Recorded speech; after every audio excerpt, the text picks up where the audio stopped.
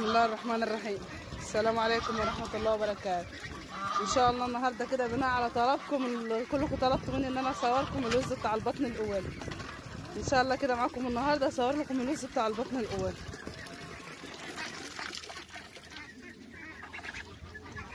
أهو الوز أهوتي. طبعا اللي هيربي وز هيربي من الوز ده. لو حد عايز يربي يعني. طبعا ال- الأكل بتاعه زي ما أنتم شايفين كده بياكلوا برسيم. ومعايا هنا ده ردة ردة على علف على عيش. بحطها لهم كده جنب جنب البرسيم بياكلوها. بس ما بيعوزوش حاجة أكتر من كده واللميه هي هي لازم تكون تحتهم على طول. أهو شايفين ده الوز ده؟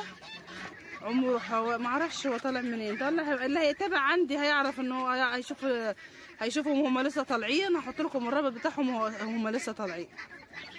ده اللي هو وز البطن الأول طبعا إن شاء الله كده اللي هيعوز يربي وز ي- يشتري من دلوقتي يشتري اللي هي البطن ده اللي هو الحجم ده. طبعا هنا أنا حاطة لهم تدي تحتهم عشان بيشربوا ويغرقوا نفسهم وبيغرقوا الدنيا حواليهم فبحط لهم تبن تحتيهم وكل فترة والتانية أنضف تحتيهم وأحط لهم تبن أحط لهم نشاره خشب أي حاجة. وبصراحة يعني حلو في الأكل يعني ما بيغلبش في الأكل. مش زي البط البكيت اللي عمال يصوت زي ما أنتم سامعين حسه كده لسه ما ما فطرش. فبيغلب مهما ياكل صوته ده دهم جعان شبعان مالوش صوت أهم حاجة نحط له البرسيم والأكل زي ما أنا موريكم كده. أهو طبعا الوز ده اللي هو إن شاء الله كده هيبيض أول السنة الجديدة. الناس اللي هي سألتني عليه وكتير قالت لي صوري لنا الوز اللي هو بتاع البطن الأولى صوري لنا الوز والناس اللي عايزة تعرف يعني إيش تعرف الذكر من النتايه في الوز أنا هوريكم النهارده إن شاء الله كده تعرفوا الذكر من النتايه كي شايفين الوزه السمراء اللي جنب المية اللي هي هناك اللي بتاكل في الحجيج اللي هناك خالص دي اللي هي جنب الحيطة دي في الحنفية. أهي دي نتايه نعرفها كيف إنها نتاية؟ الوزه بتبقى مدورة كده وراسها رفيع. لكن الذكر بيبقى طويل. يعني مثلا ده ذكر أهو شايفين شكله؟ رقبته طويلة وبيبقى طويلة مش زي النتاية. النتاية بتبقى رجليها قصير وده برضو ذكر أهو. حتى هتشوفوهم جنب بعض. جنب بعض اهي النتاية السمراء اهي. شايفين شكلها؟ هتلاقوا حتى حجمها قليل عن الذكر. الذكر بيبقى رقبته طويلة. ودي برضو السمراء دي نتاية. السمرة دي نتاية والبيض اللي هما بيشربوا دول دول ذكور والبيضة دي برضو نتاية شايفين جسمها مدور ورجلها قصيرة ورقبتها ورقبتها قصيرة وراسها رفيع حتى هتشوفوا هسه باين أصلا شوفوا رقبة الذكر بتبقى طويلة اللي هو الأولاني اللي من هنا ده. ده الأولاني ده؟ ده ذكر أهو شايفين رقبته طويلة اللي هو بيشرب ده رقبته طويلة. اللي هناك دي نتاية اللي جنبيه ده ذكر شايفين رقبته برضو طويلة اهي. إحنا بنعرف الذكر من النتاية وطبعا في طريقة تاني بس يعني عشان الوز ده حاليا أنا ما أقدرش بنفسخ عليه يعني من ورا عشان نعرف هو ده الذكر من النتاية بس حاليا ما بحبش أفسخ عليه دلوقتي عشان هو ما بيستحملش. الوز دي زي الفراخ البيضة ما بيستحملش. فإحنا بنعرفه بقى بالشكل كده. أهو هتعرفوا النتاية تلاقوا النتاية شايفين النتاية اللي هي بتاكل في الحشيش دي اهي في في البرسيم اهي اللي قصادها ده ذكر شايفين رقبته طويلة ما شاء الله.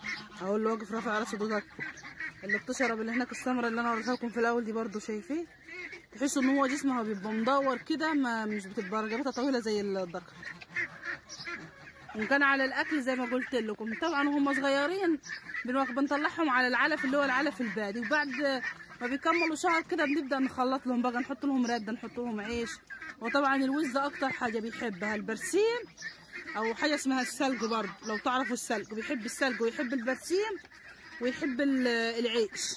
بس هو بيحب العيش بصراحة. وهم دول ياكلوا ذره عليه حاليا سليمة ياكلوا ذره سليمة بس أنا يعني ما بحط لهمش ذره سليمة. يعني مثلا أهو البرسيم أهو معايا أهو. أهو البرسيم أهو. أهو ده البرسيم أهو لسه مش واكلينه. شايفين هم بقى بيحبوا البرسيم ده والسلق اهو. ده اللي هو السلق لو أنتوا عايزين تعرفوه. دي السلق. هو ده الأكل المفضل للوز.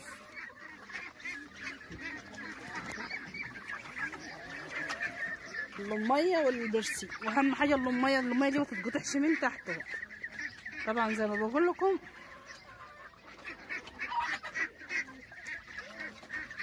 البرسيم واللميه والعيش. طبعا إحنا بنخلط لهم رده حتى أنتوا هتلاحظوا هتلاقوهم أكتر حاجة سايبين الأكل أهو وبياكلوا في البرسيم يعني قليل فيهم اللي تلاقيه بياكل في ال في, في الخلطة اللي أنا عاملاها. بس طبعا أنا بسيبها تحتيهم لما يخلصوها. الميه دايما تحتيها. سواعي بقت الحرارة بدأت تنزل أهي. أبدأ بقى أحط لهم حاجة كبيرة فيهم مية عشان يتسبحوا وينضفوا بقى من من الشتاء وحمايلها. ده الفيديو ده للناس اللي طلبت تشوف الوز اللي هو الوز ال... أنا ما عنديش غير. هم دول بس اللي أنا مربياهم. ال- البطن التانية اللي أنا صورتها معاكم ومنزلاها على قناتي التانية دي بيحته. بيحت الوزة ب 30 جنيه. طالعه من البيضة ب 30 جنيه. عشان إحنا عندنا بصراحة الأسعار نازلة. لكن ده اللي هو البطن الأولى دي ال- الذكر ب 100 يعني لو حد عايز يشتري الذكر ب 100 والنتايه ب 80 اللي- لو أنتوا عايزين تشتروا يعني حاليا عشان اول أول ما بيدخل علينا ال- الموسم الجديد ال- ال- البط ده بتاع الوز بيرفع. الذكر بيخش في 150 والنتايه بتخش في 140 فاللي هيشتري حاليا يشتري من هي ما يشتري من دلوقتي لو يعني عندكم سوق ولا حاجة. يبقى الذكر في في في في العمر ده الذكر 100 يعني زي ما قلت لكم إحنا عندنا الأسعار نازلة. عشان في قنوات تانية زي طيور حسن نوعات طيور حسن اللي متابعه هتلاقوا عنده الجولات اللي بيعملها في السوق هتلاقوا عنده الوز عنده غالي عن كده. وبرده الأميرة ورودي برده بيع الجزء اللي هو طالع من البيضة الأسبوع بيعها على 120 إحنا عندنا إحنا بايعين الجزء ب 60 يعني شايفين النص. النص بالنص. طبعا أكيد الكبير ده عندهم هيبقى أغلى من كده. بس إحنا عندنا بقى عندنا هنا بنسوق بصراحة الأسعار نازلة خالص. يعني بصراحة يعني الحاجة طالعة واكلة كتير و...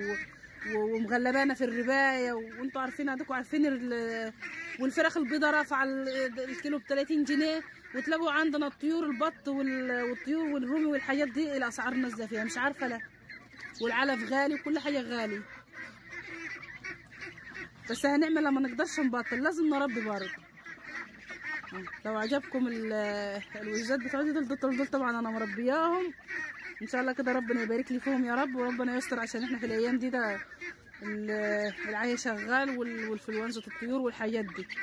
فاللي محدش يشتري حاليا في الوقت ده أي طيور صغيرة. الطيور الصغيرة ما حدش يشتري دلوقتي لحد بس ما الجو يومين الخمسين ويومين الربيع دول يعدوا عشان اللي هو الهف بيبقى شغال فيه.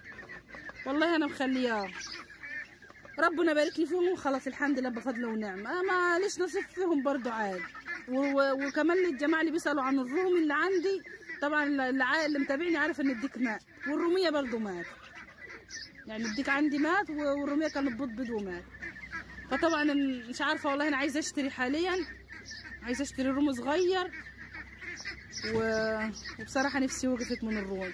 فمش عارفة لو شريت إن شاء الله هصوره معاكم إن شاء الله وبإذن الله. وعايزاكم تسمعوا الفيديو بقى للنهاية كده وتتابعوا ال- القناة وترفعوا لنا المشاهدات شوية. المشاهدات مش عارفة نزلت لا. المشاهدات نزلت. ادي الرومي ال- معلش ادي الوز اللي هو وز البطن الأول.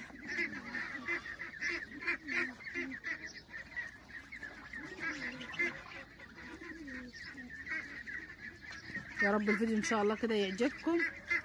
معايا هنا ال- البط اللي هو البط الستار لسه هسيبه البط الستار والبط المرة اللي عندي طبعا لسه أنا هسيبهم وأنا حبسهم في العش أهو. لسه هسيبهم هدخل الوزات دول في الحتة اللي هناك دي. وهقفل عليهم عشان الوزات دول بيعضوا البح. لو طالوا البحات بيموتوهم. لو طالوا البط البكيني بيموتوه. فهحبسهم في الحتة اللي هناك دي. الحتة دي واسعة من ورا يعني. وهسيب البط هنا ال- البكيني بس أنا حبيت أصور هنا عشان الحتة اللي هناك طويله لجوه مش هعرف أصور فيها. يا رب الفيديو إن شاء الله كده يعجبكم بتاع النهارده. إن شاء الله لو الفيديو عجبكم ما تنسونوش تعملوا لنا لايك وتشتركوا في القناة وت... وتدعمونا كده وتشجعونا على وتكتبوا لنا تعليقات حلوة. السلام عليكم ورحمة الله وبركاته.